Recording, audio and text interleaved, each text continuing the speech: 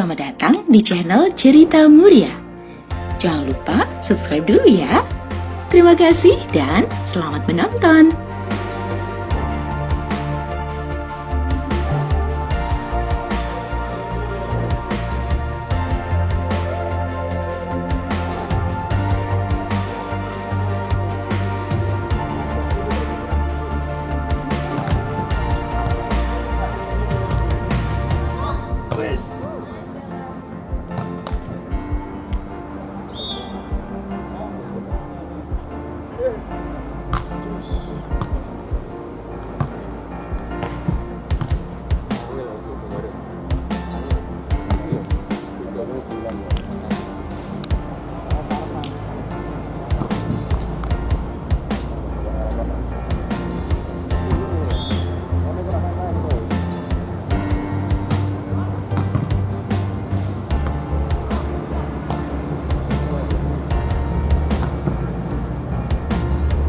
Persiapannya seperti apa ini menghadapi nanti?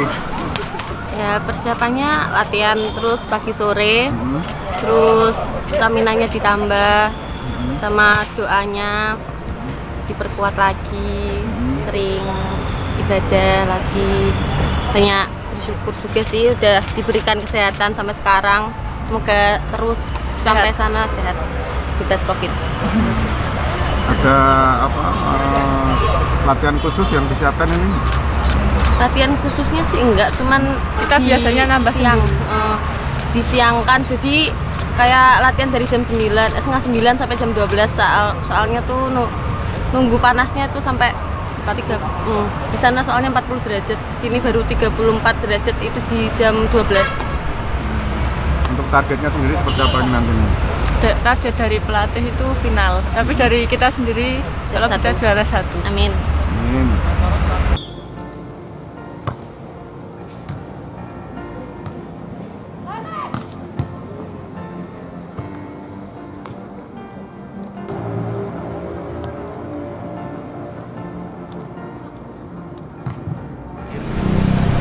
Eh, untuk di dua minggu terakhir kami sudah banyak ke eh, Timbuk ya mengarah ke Timbuk karena eh, menjelang pertandingan saya harus banyak latihan game. Kemarin kita sudah dilepas oleh Ketua Umum Pengprov Jateng yang juga sekaligus Pak Kapolda. Eh, harapannya kita diminta untuk maksimal di sana, jaga sportivitas, jaga nama baik Jawa Tengah, dan tentunya pulang diharapkan membawa medali sesuai target yang dibebankan. Di putri kita dibebankan di target untuk bisa final, di putra untuk membawa medali perunggu. Dengan kehadiran Pak Bupati, tentunya ini akan menambah semangat anak-anak apalagi kita dijanjikan apabila anak-anak eh, membawa pulang medali kita akan diterima oleh Pak Bupati sehingga ini akan menambah eh, semangat juang adik-adik atlet semoga target yang dibebankan bisa tercapai Kalau untuk perihal bonusnya sendiri tadi disebutin nggak pak? Emas berapa, perak berapa, perunggu berapa gitu? Kalau bonus mestinya ada di provinsi ya. Kalau di Kudus saya belum tahu hanya dijanjikan ya. kalau nanti eh, pulang bawa medali eh, akan diundang oleh Pak Bupati. Kalau yang pemprov sudah, disebutin belum pak? Emas berapa, medali eh, perak berapa, perunggu? Kalau ini provinsi saya juga belum anu, Pak, belum tahu karena kita Tapi fokus ke latihan tujuan jadi enggak ini bukan tujuan utama kita. Ya. Kalau bagi kami berdua dan atlet eh, prestasi adalah harga diri, Pak. Jadi itu nomor dua. Ya, nenek ora ya kebangetan ini. terkait pesan Pak Bupati soal COVID tadi supaya jangan sampai gagal berangkat hanya karena positif gitu kan. Ya, sudah Pak, kita sudah di saya antisipasi. Jadi anak-anak juga selama ini tidak boleh keluar. Jadi menjelang ini hanya untuk keperluan latihan, makan, ke mes, ke latihan, hanya itu.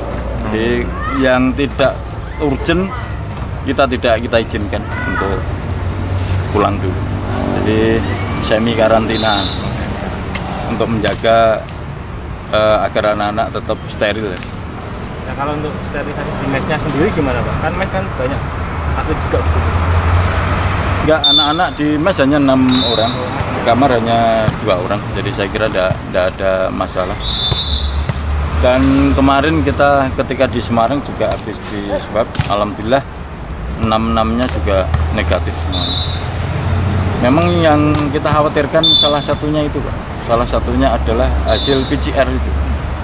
Jumlah atlet yang berangkatan seluruhnya ada berapa Pak? Dari Kudus, putra daerahnya?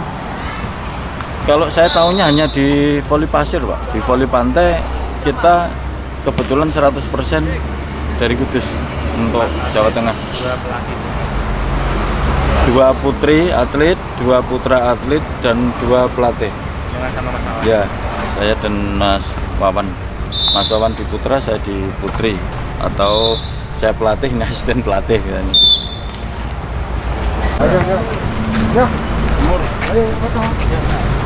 mencerang nih kena panas Oke ya. Ya, selamat,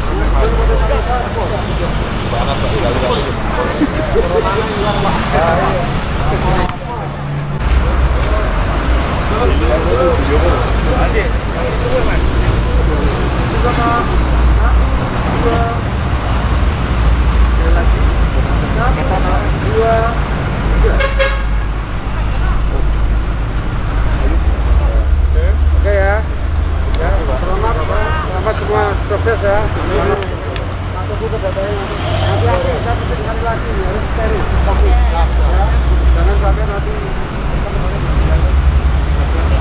Iya, jangan sampai terulang kembali itu. Ya, dulu selesai balik. ya, nanti ya, sukses selalu. Putra daerah. Nah, maka dari itu persiapan-persiapan ini hanya jangan hanya fisik saja jangan hanya mungkin asupan dan olahraga saja tapi persiapan bagaimana kita, seta- untuk atlet-atlet ini volley ini harus tetap steril terkait covid ya kan? Jangan sampai sudah mempersiapkan semuanya ya kan? Tapi tiba-tiba mau ke bandara aja di PCR positif. Kan gagal semuanya nanti ya? Nah, ini jangan sampai. Makanya tak suruh hati-hati terkait masalah protokol kesehatan. Nah, dipastikan kalau di sini tempat steril ini harus semuanya dipastikan bebas covid nah, maka dari itu support untuk tim voli putra putri seperti apa Pak dari Pemkap? Gimana Support dari dukungan yang diberikan kepada tim voli pantai ini ya dukungan yang kita dukungan ya di samping untuk support juga ini tentunya nanti ada ada dukungan untuk eh, material ada Ya. Eh, dukungan. Berarti bonusnya ada ya Pak ya artinya gitu. Oh ada. Aku sudah tak bilang, sudah janjikan. Nanti kalau pulang jadi juara ketemu kita lagi. Oh. Ya. Iya. Nanti kita ajak makan bareng, tentunya dengan protokol kesehatan, ya kan? Iya. Nah, kita ngobrol-ngobrol, ngopi, dialog kan gitu kan. Ya, tentunya mesti ada bonus dari kita. ya, artinya targetnya juara tetap ya Pak? Oh, iyalah juara. Kalau ada juara ya cuma hanya di bina lagi supaya besok jadi juara kan gitu ya. Ya tetap kita ketemu, kita akan mensupport lagi. ya, tapi mungkin beda ya kan. Untuk bonusnya mungkin tidak ada. Tapi mungkin- kalau jadi juara nanti bonusnya ada. Melihat dari track recordnya sendiri kan ada yang pernah PON Jabar 2016, Oh, ada. kemudian ada yang pernah Banyak timnas juga, pernah main di Qatar juga dapat perunggu. Iya. Kemudian ada yang ke Jurnas juga. Apakah nantinya ke depan ada kayak semacam apresiasi berupa misalkan diberi pekerjaan gitu atau gimana? Ada nggak Pak? Insya Allah kalau ada memang ada peluang dan di sini eh, ada ada memang ada kesempatan untuk eh, teman-teman atlet ini tentunya akan dikasih kesempatan akan dikasih kesempatan di sini. Dan mudah-mudahan nanti bisa dari eh, BKPP mungkin bisa untuk mengusulkan untuk di sana. Terkait masalah banyaknya sertifikasi ini Nah, barangkali ada prioritas dari ya kan eh, ikut bicara CPNS atau yang lain kan lebih baik. Atau mungkin ada penawaran-penawaran dari eh, BUMD atau BUMN atau bagaimana lah harapan kami juga seperti itu. Saya kira banyak yang ngincer kalau nanti ternyata memang banyak juara. kalau mau tanya juga tentang untuk jumlah atlet Kudus sendiri yang berangkat ke PON kan ada 33 atlet, Ya. tiga pelatih dan satu manajer dari 14 cabang olahraga. Ya, ya. Nah, dari panjenengan ini seperti apa tanggapannya, Pak? Ya, eh, saya kira eh, tanggapan saya sangat apresiasi sekali eh, terkait itu. Eh, harapan kami ini sudah mulai mempersiapkan dan itu yang paling penting harus steril dari COVID ya, harus dijaga kesterilan itu.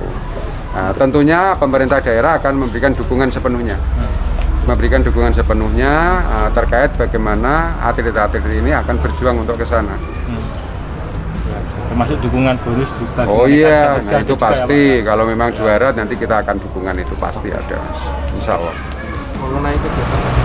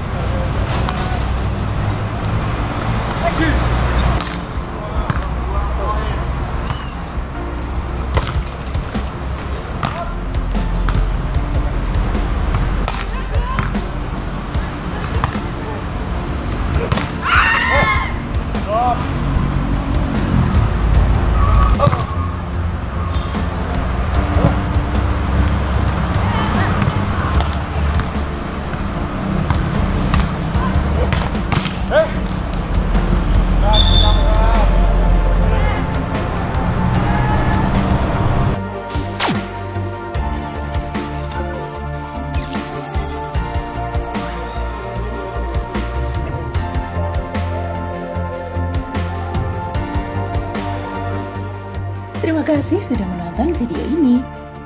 Jangan lupa subscribe channel kami ya, biar kamu gak ketinggalan cerita-cerita menarik dari kami.